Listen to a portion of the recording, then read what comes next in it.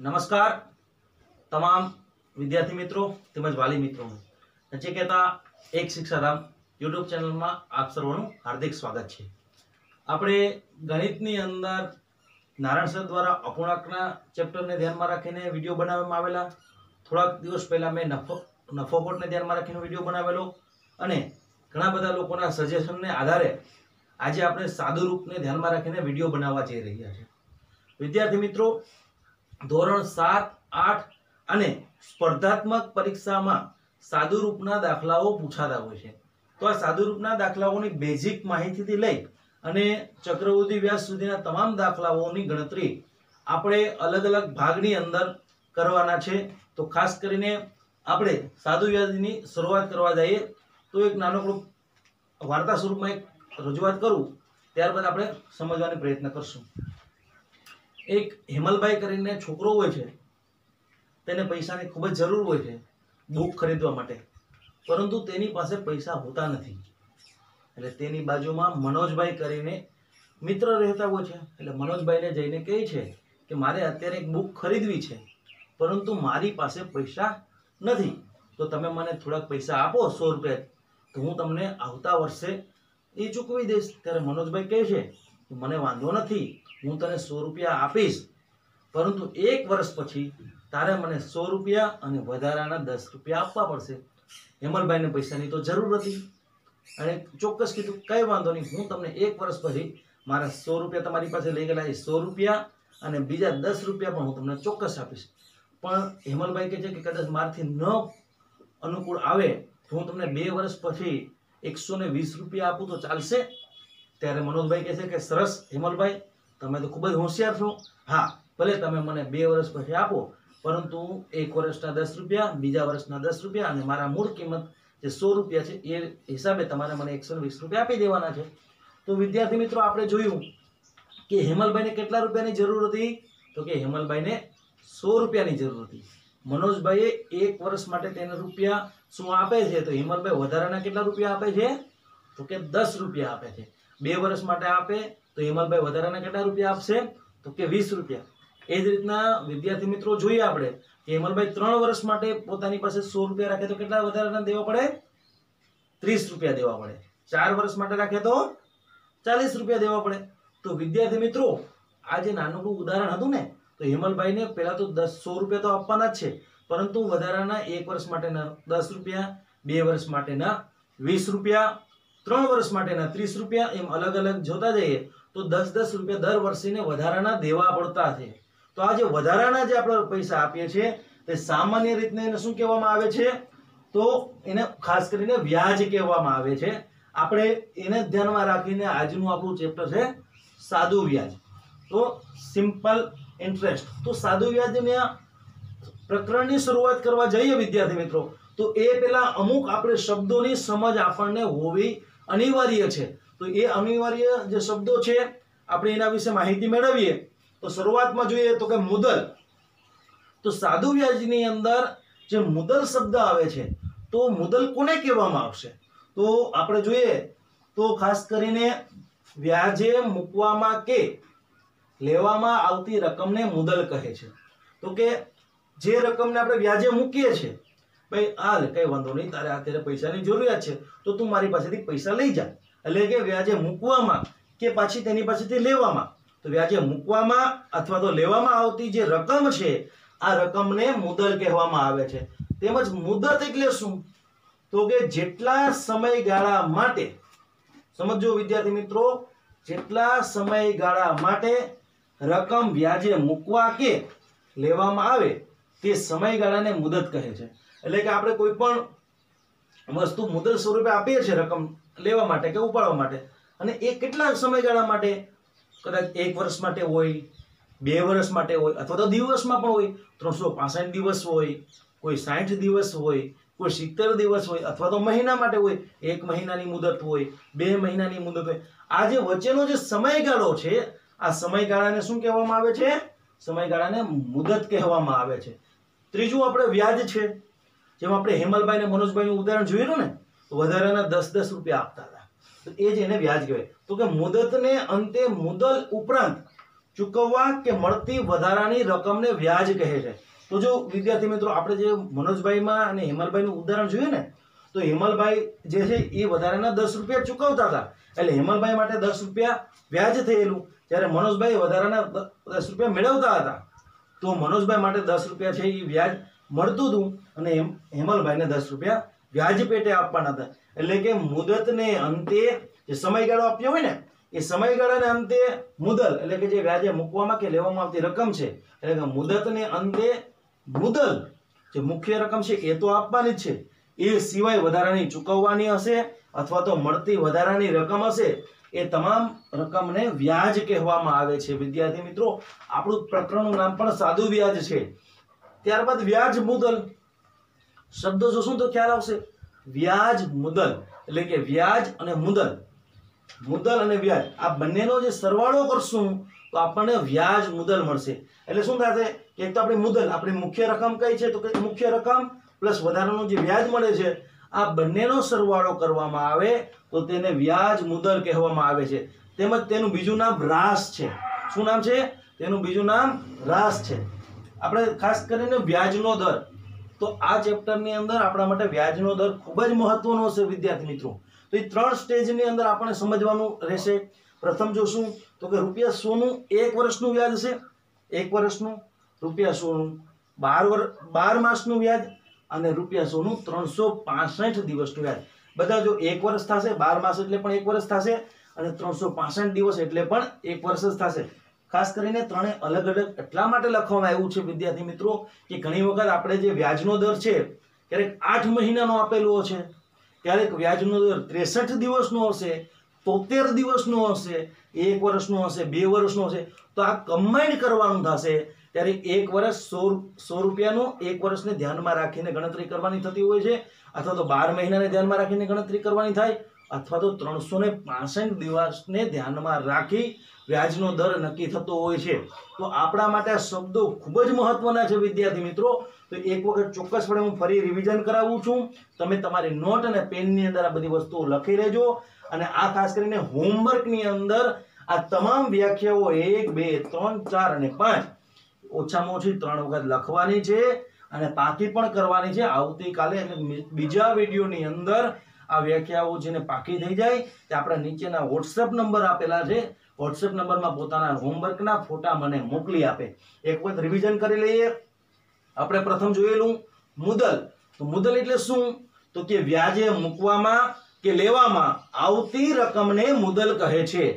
વિદ્યાર્થી મિત્રો, જે આપણે વ્યાજે મૂકીએ છીએ અથવા તો લઈએ છીએ કોઈ પાસેથી, એ જે રકમ છે, આ રકમને મુદલ કહેવામાં આવે છે. મુદત તો જેટલા સમયગાળા માટે આપણે રકમ વ્યાજે લઈએ છીએ, મૂકીએ છીએ, તો આ લેવામાં અને મૂકવામાં જે વચ્ચેનો જે સમયગાળો છે, કોઈ પાસેથી લીધી છે અથવા તો કોઈને આપણે આપી છે, તો પાછી પરત આપણને ક્યારે મળશે અથવા તો પરત ક્યારે આપણે દેવાની થશે? આ જે સમયગાળો છે, આ સમયગાળાને મુદત કહેવામાં આવે છે. તેમજ વ્યાજ. તો કે મુદતને અંતે, મુદત આપેલી હોય સમયગાળો. એ સમયગાળાને અંતે મુદલ ઉપરાંત વધારાની જે રકમ ચૂકવવી પડતી હોય છે અથવા તો વધારાની રકમ મળતી હોય છે, તો આ વધારાની રકમને વ્યાજ કહે છે. આ વિદ્યાર્થી મિત્રો, આપણે જે મુદલ હોય છે, મુખ્ય, મૂળ કિંમત હોય છે, એ કોઈને વ્યાજે આપી હોય અથવા તો કોઈ પાસેથી વ્યાજે લીધી હોય, આ સિવાય વધારાની જે રકમ આપણને મળે છે અથવા તો વધારાની રકમ આપણે બીજાને આપીએ છીએ, તો આ રકમને વ્યાજ કહેવામાં આવે છે. તેમજ આપણે વ્યાજ મુદલ વિશે પણ માહિતી મેળવી, તો કે મુદલ અને વ્યાજનો સરવાળો. મુદલ એટલે મૂળ કિંમત, વધારાની મળતી રકમ એટલે વ્યાજ. તો મુદલ અને વ્યાજનો જે સરવાળો થાય છે, આ સરવાળાને વ્યાજ મુદલ કહેવામાં આવે છે. વ્યાજનો દર ત્રણ સ્ટેજ, સ્ટેપની અંદર આપણે શીખવાનો છે. રૂપિયા સોનું એક વર્ષનું વ્યાજ, રૂપિયા સોનું બાર માસનું વ્યાજ અને રૂપિયા સોનું ત્રણસો પાસઠ દિવસનું. શા માટે અલગ અલગ છે? કારણ કે આપણે ઘણી વખત દિવસોમાં પણ વ્યાજનો દર આપેલો છે, અથવા તો મહિનામાં વ્યાજનો દર આપેલો છે. તેવા સમયે આપણને આ ત્રણે ત્રણ બાબતો ખૂબ જ ઉપયોગી થશે. તો આપણે વિવિધ ઉદાહરણો તરફ આપણે આગળ વધીએ, તે પહેલાં લખી લેશું. વિદ્યાર્થી મિત્રો, આપણે જે શબ્દોની સમજ મેળવેલી, મુદલ, મુદત વ્યાજનો દર વ્યાજ અને વ્યાજ મુદલ તો આપણે ઉદાહરણની મદદથી તેને સમજવાનો પ્રયત્ન કરીએ. અહીં એક મેં ઉદાહરણ આપેલું છે કે રમીલા બહેન વાહન ખરીદવા માટે રૂપિયા સુડતાલીસ હજાર બેંકમાંથી સાડા નવ, એટલે નવ પોઈન્ટ પાંચ ટકા લેખે એક વર્ષ માટે લે છે. જોઈએ આપણે વિદ્યાર્થી મિત્રો, જોઈએ કે રમીલાબેને વાહન ખરીદવું હતું, તો તેણે સુડતાલીસ હજાર રૂપિયા બેંકમાંથી નવ પોઈન્ટ પાંચ ટકા લેખે એક વર્ષ માટે વ્યાજે લે છે. મુદતને અંતે એક વર્ષ પૂરું થઈ જાય, ત્યારબાદ રમીલાબેન છે રૂપિયા ચાર હજાર ચારસો પાસઠ વધારે ચૂકવે છે. સુડતાલીસ હજાર તો ચૂકવવાના જ છે, પ્લસ ચાર હજાર ચારસો ને પાસઠ વધારે ચૂકવે છે. તો મુદલ, મુદત, વ્યાજનો દર, વ્યાજ અને વ્યાજ મુદલ શોધો. અહીં આપણે પ્રથમ લખવાનું છે, મુદલ એટલે શું? તો આપણને ખબર છે કે જે રકમ આપણે કોઈ પાસેથી વ્યાજે અથવા તો વ્યાજ માટે આપીએ છીએ અથવા તો લઈએ છીએ. તો રમીલાબેને શું કર્યું હતું? તો કે રમીલાબેને બેંકમાંથી રૂપિયા સુડતાલીસ હજાર લીધા હતા. તો સુડતાલીસ હજાર છે, એ શું બનશે? તો કે એ આપણી મુદલ બનશે. શા માટે? તો કે એ રૂપિયા રમીલાબેને છે, એ બેંકમાંથી સુડતાલીસ હજાર રૂપિયા લીધા હતા. તો આપણી મુદલ શું થઈ? તો મુદલ આપણી સુડતાલીસ હજાર. મુદત કેટલા સમયગાળા માટે લીધું હતું તો કે રમીલાબેન આ જે સુડતાલીસ હજાર છે. કેટલા સમયગાળો છે? તો કે એક વર્ષ માટે. કેટલા વર્ષ માટે? એક વર્ષ માટે. તો મુદત શું થાય? તો કે મુદત એક વર્ષ થઈ છે. બીજું, વ્યાજનો દર. તો વ્યાજનો દર હંમેશા ટકામાં આપેલો છે. તો કેટલા ટકા? તો કે સાડા નવ ટકા લેખે સુડતાલીસ હજાર રૂપિયો એક વર્ષ માટે રમીલાબેને બેંકમાંથી લીધો છે. તો સાડા નવ ટકા એ વ્યાજનો દર થયો છે, વિદ્યાર્થી મિત્રો. તો નાઇન પોઈન્ટ ફાઈવ પર્સન્ટેજ ટકા આપણે લખાઈ છે વ્યાજ. તો કેટલું? મુદતને અંતે વધારે કેટલા રૂપિયા આપવા આપણે જે મુદલ હતી, મુદલથી વધારે કેટલા રૂપિયા ચૂકવેલા? તો કે મુદતને અંતે રમીલાબેને ચાર હજાર ચારસો ને પાસઠ વધારે ચૂકવેલા છે. તો એ વ્યાજ થયું છે. ચાર હજાર ચારસો પાસઠ છે શું છે? તો એ વ્યાજ છે. ચાર હજાર ચારસો પાસઠ. બીજું, આપણે વ્યાજ મુદલમાં આપેલી નથી, વિદ્યાર્થી મિત્રો. વ્યાજ મુદલ આપણે શોધવી પડશે. બાકી બધી વસ્તુ આપેલી હતી. તો વ્યાજ મુદલ શોધવા માટે આપણે શું કરવાનું છે? પ્રથમ તો વ્યાજ મુદલ આપણને સમજવી પડે. તો શું હતું? તો કે વ્યાજ અને મુદલ બંનેના સરવાળાને વ્યાજ મુદલ કહે છે. તો વ્યાજ વત્તા વ્યાજ વત્તા મુદલ. તો વ્યાજ શું છે? તો કે ચાર હજાર ચારસો પાસઠ. ચાર હજાર ચારસો પાસઠ છે. મુદલ શું છે? તો કે સુડતાલીસ હજાર પૂરા. તમે મુદલ વત્તા વ્યાજ પણ લખી શકો અને વ્યાજ વત્તા મુદલ પણ લખી શકો. તો આપણે જોઈએ, સુડતાલીસ હજાર આપણે ખાસ કરીને શું છે તો કે એની મુદલ છે. અને વ્યાજ કેટલું છે? તો કે ચાર હજાર ચારસો પાસઠ. ચાર હજાર ચારસો પાસઠ એ વ્યાજ છે. તો આનો સરવાળો કરીએ પાંચ, છ, ચાર. સાત ને ચાર, અગિયાર. બધી આપણે વ્યાજ મુદલ મેં અત્યારે વ્યાજ વત્તા મુદલ કર્યું છે.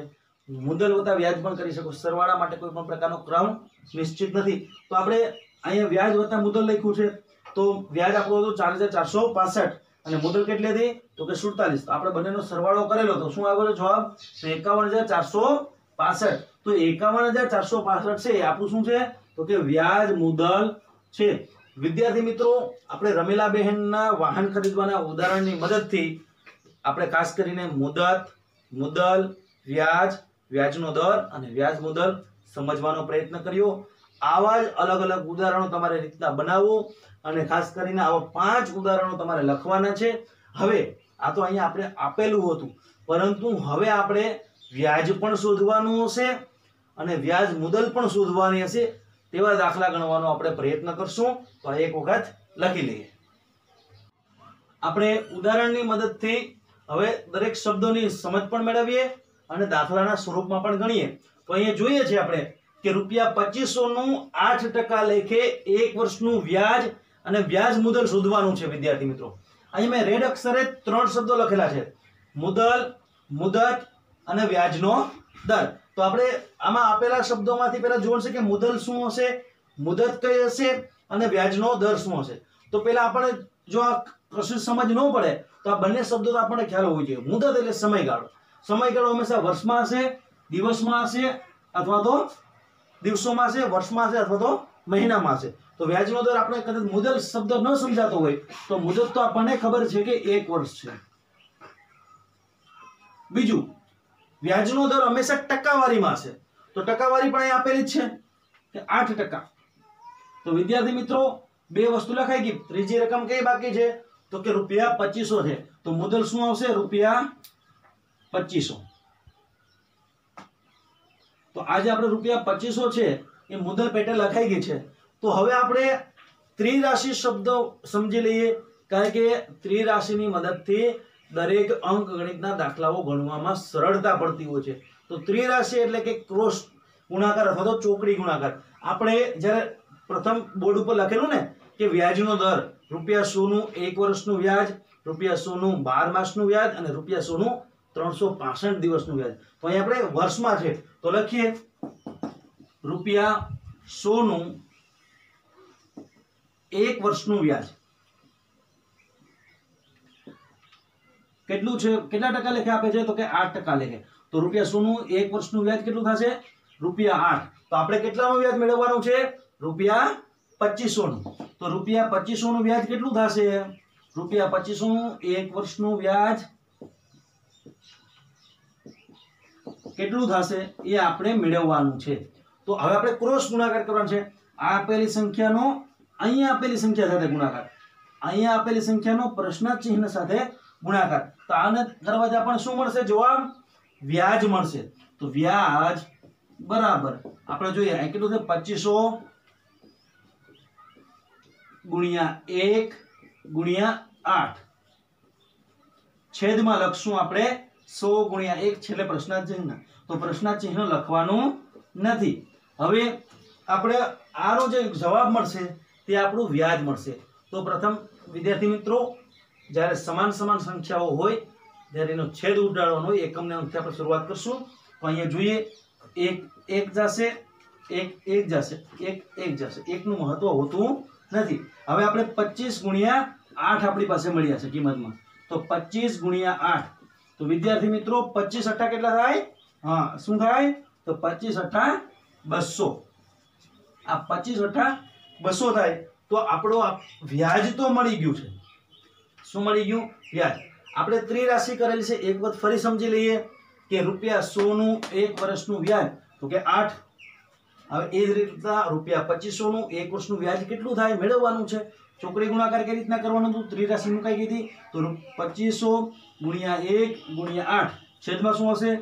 સો ગુણ્યા એક અને પ્રશ્નાચિહ્ન. પ્રશ્નાચિહ્ન અને એકનું મૂલ્ય છેદમાં હોતું નથી. તો આપણે છેદ ઉડાડ્યા જીરો જીરો જીરો જીરો, એક એક. તો પચીસ ગુણ્યા આઠ વધેલા છે, તો પચીસ અઠા બસો થાય. વિદ્યાર્થી મિત્રો, આપણને વ્યાજ મળ્યું છે. આપણને વ્યાજ મુદલ શું કરવાનું છે? તો વ્યાજ મુદલ આપણને ખ્યાલ છે કે વ્યાજ મુદલ આપણે શીખી ગયા કે મુદલ વત્તા વ્યાજ.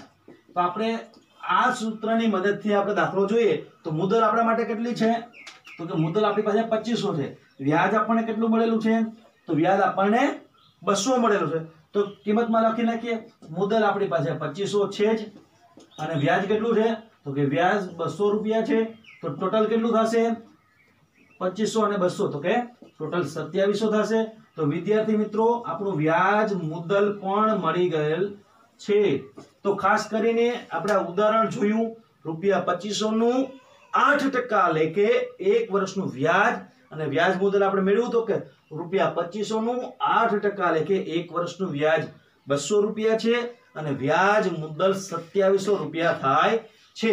તો આ આપણે ઉદાહરણ સમજવાનો પ્રયત્ન કર્યો. હજી આપણે એક ઉદાહરણ સમજશું અને ત્યારબાદ આવા દસ દાખલા આપણે ગણીને વોટ્સઅપમાં મારા પર્સનલ નંબર પણ આપેલા છે. એમાં તમે મને તમારો હોમવર્કનો સ્ક્રીનશોટ પાડી અને મોકલી આપજો. આમાં ન સમજાય તો પણ કોમેન્ટ્સ કરી શકો. વધારે માહિતી માટે આપણે આગળનો વીડિયો જોશું. બીજું ઉદાહરણ તરફ આપણે જઈએ, તે પહેલાં લખી લઈશું. આપણે બીજું ઉદાહરણ થોડુંક નવીનતા તરફ જઈએ. પ્રથમ જે વ્યાજનો દર છે, ખાસ કરીને એની મુદત આપણે જોઈ હતી, તો વર્ષમાં હતી અહીંયા ખાસ કરીને મુદત છે તો શું છે? તો આપણે જોઈએ, રૂપિયા છ હજારનું છ ટકાના દરે ત્રણ માસનું વ્યાજ અને વ્યાજ મુદલ શોધવાની છે. તો આપણે માસમાં આપેલું છે, વિદ્યાર્થી મિત્રો. આ વખતે વર્ષમાં નથી આપેલું. તો આ થોડુંક અલગ છે. એટલા માટે મેં ત્રણને પહેલા જ ત્રણ સ્ટેપ સમજાવ્યા હતા કે એક વર્ષનું સો રૂપિયાનું, એક વર્ષનું સો રૂપિયાનું, બાર માસનું અને સો રૂપિયાનું ત્રણસો પાસઠ દિવસનું.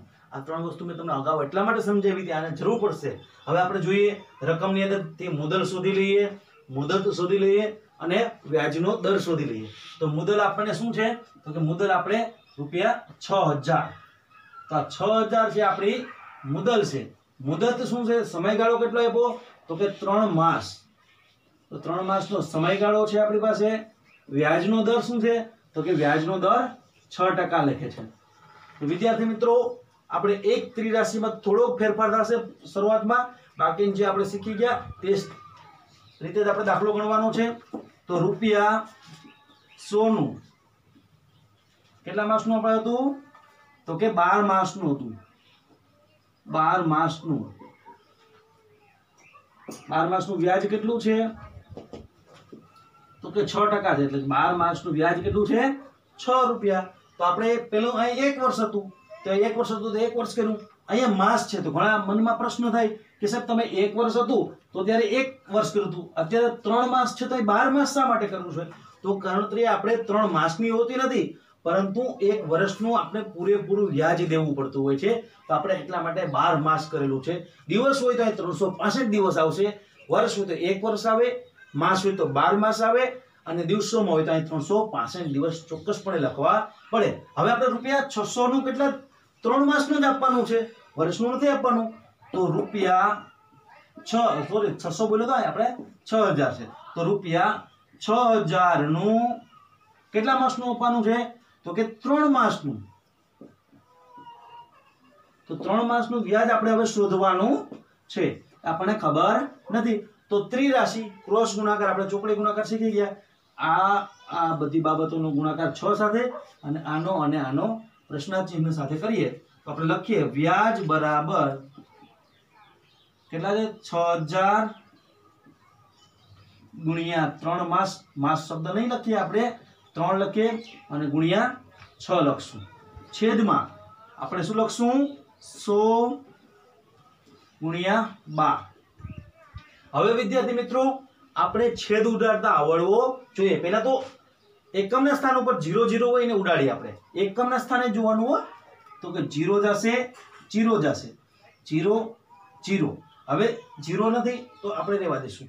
હવે આપણે જોઈએ, નીચે અહીં કેટલા વધ્યા? સાઠ વધ્યા છે, ત્રણ વધ્યા છે, છ વધેલા અને બાર વધેલા છે. તો આપણે આનું સાદું રૂપ આપણે શીખી ગયા હતા તો બાર છે, તો એને છ ગુણ્યા બે પણ લખી શકીએ ને? છ દુ બાર પણ લખી શકીએ. તો આપણે એને સ્વરૂપમાં લખીએ. તો જોઈએ. તો છ અને છ સમાન છે. તો છ અને છ ઉડી જાય. હવે વધેલા કેટલા છે? તો કે સાઠ અને ત્રણ. અને છેદમાં કેટલા છે? તો કે બે. તો બે અને ત્રણનું તો કશું જ ન થઈ શકે. પરંતુ આપણને ખબર છે કે સાઠ છે.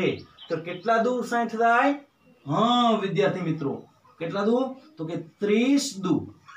એટલે ત્રીસ ગુણ્યા બે સાઠ થાય છે. બરાબર? આપણને એટલી ખબર છે. તો હવે ફરી આપણે બે અને બે ઉડાડી દઈએ. શું વધેલું છે? તો કે આપણી સમક્ષ માત્ર બે જ વસ્તુ વધેલી છે. ત્રીસ ગુણ્યા ત્રણ. તો આપણે લખીને ક્યાંય શું લખેલું છે વ્યાજમાં? તો કે ત્રીસ ગુણ્યા ત્રણ. તો ત્રીસ ગુણ્યા ત્રણ એટલે શું થાય? તન તેરી નવ અને પાછળ જીરો. તો આપણને આ જે શું મળેલું છે? તો વ્યાજ છે. કેટલા માસનું? તો કે ત્રણ માસનું. વિદ્યાર્થી મિત્રો, રૂપિયા છ હજારનું છ ટકાના દરે ત્રણ માસનું વ્યાજ કેટલું થાય? નેવું રૂપિયા થાય છે. આમાં ન સમજાય તો મને તમે કોમેન્ટ્સ કરી શકો છો વોટ્સઅપમાં પ્રશ્ન પણ પૂછી શકો છો. ફરી એક બધા સમજાવવાનો પ્રયત્ન કરું છું. આપણે ક્રોસ ગુણાકાર તો ખ્યાલ છે, એને ત્રિરાશિમાં પણ મૂકી દીધું હતું. તો કે છ હજાર ગુણ્યા ત્રણ ગુણ્યા છ છેદમાં સો ગુણ્યા બાર. તો પ્રથમ જીરો જીરો ઉડાડી દીધા છે. બાર ને આપણે છ ગુણ્યા બે પણ લખી શકીએ. તો છ અને છ જતા રહેશે, સાઠ ને ત્રીસ દૂર, સાઠ પણ લખે, એટલે બે અને બે જતા રહી, તો વધેલા શું છે? તો કે ત્રીસ ગુણ્યા ત્રણ અને છેદમાં એક, તો એકનું મૂલ્ય હોતું નથી, એટલે આપણે છેદમાં નથી ગણતા, ત્રીસ ગુણ્યા ત્રણ એટલે શું થાય નેવું. આપણે વ્યાજ મળી ગયું છે, વિદ્યાર્થી મિત્રો. હવે આપણે શું કરવાનું છે? વ્યાજ મુદ્દલ. તો વ્યાજ મુદ્દલ આપણને ખ્યાલ છે? તો કે વ્યાજ મુદ્દલ બરાબર મુદ્દલ વત્તા વ્યાજ. મુદ્દલ કેટલી છે? આપણને ખબર છે. મુદ્દલ આપણી પાસે લખેલી છે પહેલેથી. મુદ્દલ આપણે છ હજાર છે. તો છ હજાર લખી લઈએ.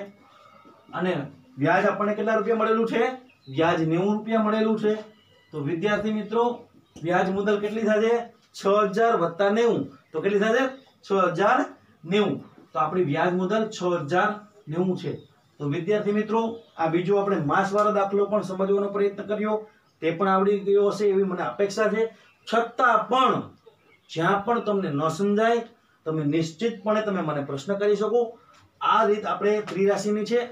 આગળના દાખલા ઉદાહરણ પ્રમાણે પણ છે. એટલે આપણે એને આય બરાબર પીઆરએન સૂત્રની મદદથી પણ છે. એટલે એ રીત તો કરવાની જ છે. પરંતુ આ રીતે આપણે આ દાખલો ગણવાનો છે, જે આપણે ટેક્સ્ટ બુકના આધારે આપણે ગણવાની શરૂઆત કરેલી છે.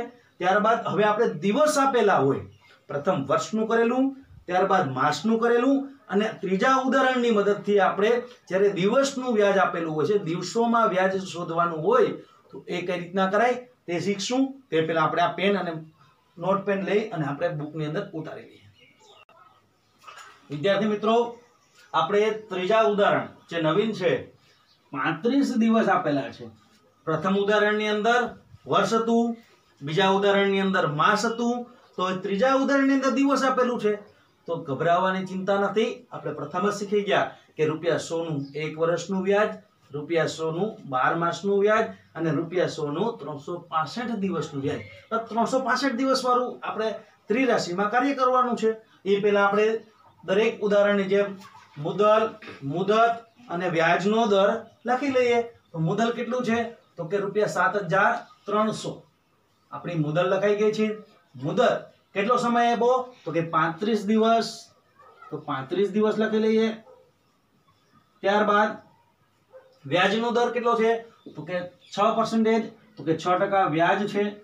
તો વિદ્યાર્થી મિત્રો, આપણે હવે ત્રિરાશિ મૂકીએ. જેમ પ્રથમમાં વર્ષ હતું, બીજામાં માસ હતું, તો અહીંયા દિવસ છે. એક વસ્તુ યાદ રાખવાની છે.